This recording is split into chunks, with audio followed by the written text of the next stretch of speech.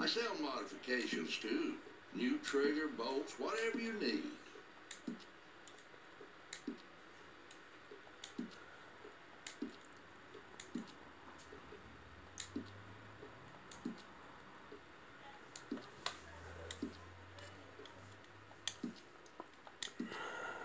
We can get some engraving done for you.